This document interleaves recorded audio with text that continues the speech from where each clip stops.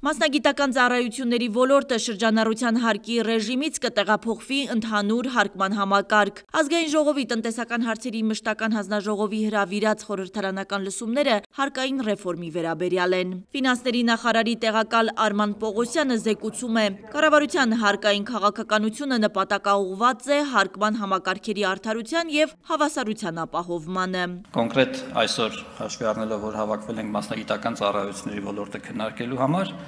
հիշեցնեմ, որ ունեինք եւ կունենանք հետեւյալ վիճակները։ Նախկին, այսինքն այս պահին դեռևս գործող համակարգը ենթադրում է 5% շրջանառության հարկի վճարում, նորը, որը նախատեսվում է կիրառել հունվարի 1-ից, ենթադրում է արդեն 10% շրջանառության հարկի դրույքաչափ իրացման շրջանառության նկատմամբ, որից հնարավորություն է տրված նվազեցնել փաստաթղթերով հիմնավորված որոշակի ծախսերի 6%-ը, պայմանով, որ այդ եղանակով հաշվարկված հարկը, եթե կստացվի իրացման շրջանառության 4.5%-ից ցածր, ապա պետք է վճարվի առնվազն այդ 4.5%-ը։ Եվ եթե 4.5%-ից բարձր, ապա այնքան ինչքան կստացվի։ Նախագծերով առաջարկվում է 2025 թվականի հուլիսի 1-ից մի շարք մասնագիտական ոլորտներ տեղափոխել ընդհանուր հարկման համակարգ։ Իրավաբանական գործունեություն, հաշվապահական գործունեություն, գլխամասային գրասենյակների գործունեություն, կառավարման հարցերով խորհրդատվություն, շենքերի շինարարություն, քաղաքացիական շինարարություն, մասնագիտական շինարարական այլ գործունեություն, անշարժ գույքի հետ գործառնություններ վարձատրությամբ կամ պայմանագրային հիմունքով, ճարտարապետական եւ ճարտարագիտական գործունեություն, տեխնիկական փորձարկումներ եւ վերլուծություններ, գովազդային գործունեություն եւ շուկայի իրավիճակի հետազոտություն, մասնագիտական, գիտական եւ տեխնիկական այլ գործունեություն, ժամանակավոր աշխատուժով ապահովման գործունեություն եւ առողջապահություն։ Ընդդիմադիրների հարցերը չեն ուշանում։ Ձեր կողմից նշված ուղղայած կամ ավելի ճիշտ հորիզոնական արդարության սկզբունքի խախտում այստեղ ընդհանրապես տեղ չունի։ Ընդհանրապես։ Ես խնդրում եմ այդ փաստարկը չբերել հաջորդ անգամ նման նախաձեռնություններ իրականացնելու համար։ Եվ վերջին հարցը հետեւյալն է։ Պարոն Թունյան, նաև ձեզ է վերաբերում։ Քանի կոպեկ արժի այս քննարկումները կամ մասնագիտական հանրության կարծիքները, երբ որ դուք վերջում ոչ մի բան չեք ընդունում։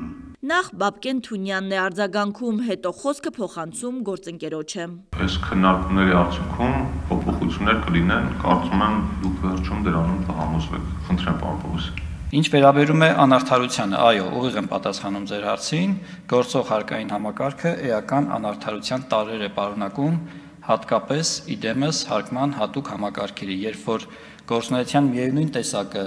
միկրոձեռնարկատիրության հարկման համակարգում կազմակերպելու պարագայում վճարվում է 0 հարկ, շրջանառության հարկի պարագայում վճարվում է որոշակի հարկ, հարկման ընդհանուր համակարգում վճարվում է դրանից 3-ից 6 անգամ ավել հարկ։ Այստեղ մենք արդարության որևէ եզր չենք տեսնում եւ մենք հայտարարել ենք այս վիճակը քայլ առ քայլ փոխելու մեր հանձնառության ու պատրաստակամության մասին։ Հայաստանի գործատուների հանրապետական միության նախագահ Վահագն Համբարձումյանն էլ մասնագիտական ծառայություններ իրականացնողների համար հարկային ռեֆորմի այս փոփոխությունը համարում է կրակ ու պատիժ։ Պարոն Պողոսյան, մի տեսակ տպավորություն է, որ մեզ լավություն է կարել։ Այդ 25 թվականի հունվարի 1-ից դրածը արդեն абսուրդ էր։ Դա իզուր էլ այդ մասին խոսում ենք, որովհետև չէր կարելի էլի պարոն Պողոսյան երկու ամսվա ընթացքում հարկման ռեժիմ փոխել։ Եկեք խնդիրը սենց նայենք։ Հուլիսի 1-ը ոչ թե դուք մեզ լավություն եք, իրականում մեծ կրակու պատիժ է կալում մեր համայնքների գլխին։ Մասնագիտական առումներով կարող եմ որոշակիորեն կիսել ձեր մտահոգությունը, բայց հիշենք, որ ի սկզբանե շրջանառվող տարբերակը ենթադրում էր 25 թվականի հունվարի 1-ից համակարգերի փոփոխություն, պարզապես մեր քննարկումները, որոնք որ նախորդել են այս լսումներին, հանգեցրել են, որ կառավարությունը պատրաստակամություն է հայտնել 6 ամսով, բայց ոչ ավել հետաձգել։ Հիմա այստեղ այդ կոնսենսուսային պահն է. ունենալ հունվարի 1 པարս կանոններ, թե հուլիսի 1 մի փոքր ավելի, այսպես լրացուցիչ աշխատանք ենթադրող կանոններ։ Տնտեսագիտության տեխնազու Էդգար Ղազարյանի դիտարկմամբ ցանկացած նմանօրինակ փոփոխության համար առնվազն 1 տարի ժամանակ է պետք տրամադրել տնտեսվարող սուբյեկտներին, որպեսզի իրենց բիզնեսը կարողանան պլանավորել։ Ինչու՞ է պայմանավորված այդ շտապողականությունը, առավել ևս որ կառավարությունը այդ օրենքի նախագծի ընդունումը համարել է անհետաձգելի, եւ ես ուզում եմ մանամ կառավարության նիստում այդ հարցը զեկուցվող է եղել, թե չզեկուցվող, որովհետև կառավարության նիստում զեկուցում են, ասենք, օրինակ խմիչքների անվանումները կամ թթվասերը մսից է պատրաստված, թե կաթից։ Ես ուզում եմ անամ, սես կարևորագույն ունեցող հարցը կառավարությունում քննարկվել է թե ոչ։ Իհարկե զեկուցվող է եղել երկու շաբաթ առաջ անհետաձգելի համարվել այն տրամաբանությամբ, որպեսզի հնարավոր լինի առաջին ընթերցումը կազմակերպել ընթացիկ տարվա ընթացքում այնուհետ ունենալ բավարար ժամանակ մասնակցային քննարկումը շարունակելու համար։ Մեկ տարին դա ձեր գնահատականն ու ձեր առաջարկն է, այդպիսի կանոն չկա ոչ հարկային օրենսգրքում, ոչ էլ որևէ իրավական ակտում, փոխարենը կա կանոն 6 ամսվա, բայց դա միայն հարկի դրույքաչափի բարձրացման կամ նոր հարկատեսակի սահմանման մասին է։ Ծովինար Վարդանյանն էլ հարկ վճարողների միջև համեմատականներ է անցկացնում, ով ում վճարած հարկերի շնորհիվ է բարեկարգ փողոցներից օգտվում։ Երբ ուսուցիչը հարկ է վճարում պետությանը եւ ինքը այդ պետության միջոցով ստանում է, օրինակ եմ ասում, ավելի բարեկարգ փողոց,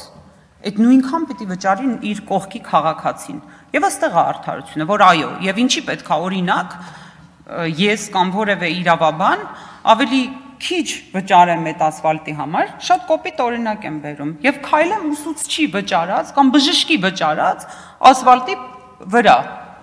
իրա փողերով վճարած ասֆալտի վրա։ Հռետորական հարցերին վերջ չկա։ Հասարակությունը կխմի հարկ վճարողի կենացը, թե պետությունը հարկ վճարողների հիշատակի կենացը դեռ པարզ չէ։ Հասմիկ Ֆարադյան, Արմալուր